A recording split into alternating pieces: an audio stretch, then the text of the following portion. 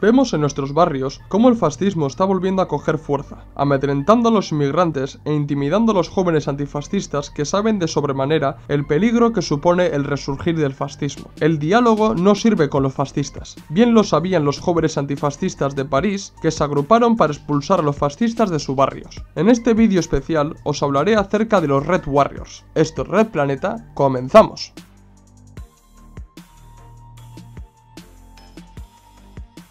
A mediados de los 80, los nazis fueron tomando protagonismo en los barrios de las principales capitales de Europa. Desde el surgimiento de los skinheads en 1969, muchos jóvenes nacionalsocialistas y fascistas copiaron la estética de los skins y comenzaron a organizarse para controlar los barrios y las ciudades. Estos jóvenes se alejaron del tan conocido Spirit of 69 y de las consignas antirracistas de los primeros skins y rudes. Los nazis fueron adueñándose de la palabra skinhead hasta tal punto que actualmente la gente asocia los skins a los nazis. Estos supuestos skins, para ser correctos, boneheads, comenzaron a realizar cazas de inmigrantes y de prostitutas, hechos que les valieron para llamar la atención de la sociedad y de los medios de comunicación. Ante toda esta barbarie nazifascista, dos jóvenes parisinos llamados Greg y Simon decidieron actuar y combatir a los fascistas. Los Red Warriors se crearon en 1986 en París con la intención de llevar a cabo una lucha activa contra los boneheads de París. Greg y Simon argumentaron que hartos de asumir la ley de la calle impuesta por los nazis, decidieron organizar a los jóvenes antifascistas para expulsarlos de los barrios. Los Red Warriors comenzaron siendo una quincena de antifas y llegaron a ser hasta 60 Warriors dispuestos a combatir. La mayoría de los Red Warriors eran jóvenes que practicaban artes marciales, como el full contact, muay thai o el boxeo. Poco a poco, la presencia de estos guerreros rojos en los barrios de París hizo que las esvásticas y las cruces celtas que portaban los boneheads fueran desapareciendo. Existen dos hechos de relevancia que merecen ser comentados. Una mañana, a las 7 de la mañana, los Red Warriors asaltaron un squad o local de nazis en el que se encontraban 50 nazis. De aquellos 50, 23 fueron mandados al hospital. Otro suceso ocurrió en 1988 cuando varios partidos políticos de izquierdas, concretamente los socialdemócratas y los comunistas, se negaron a pegar carteles electorales por temor a las agresiones fascistas. De este modo, los Red Warriors se organizaron para proteger las calles y para que se pudiese pegar los carteles electorales. Con el paso de los años, la actividad de los Red Warriors fue bajando debido a la presión policial que fijaron los focos en los jóvenes antifascistas en vez de hacerlo en los fascistas. Aún así, los Red Warriors han enseñado a las nuevas generaciones de antifascistas quiénes son los auténticos enemigos, los fascistas y no los inmigrantes, ni las prostitutas ni los homosexuales. No podemos permitir que los fascistas tomen nuevamente nuestras calles y nuestros barrios. Todo nuestro odio a todos esos fascistas que golpean y asesinan a nuestros camaradas antifas. Un Stalingrado en cada ciudad. ¿Qué os ha parecido el vídeo? ¿Conocíais a los Red Warriors? Dar like si os ha gustado el vídeo, comentar el vídeo y no os olvidéis de suscribiros al canal. Asimismo, recordar que Replaneta está presente en Twitter, Facebook e Instagram, donde subo nuevo contenido a diario. Esto es todo, hasta el próximo vídeo. ¡Salud, camaradas!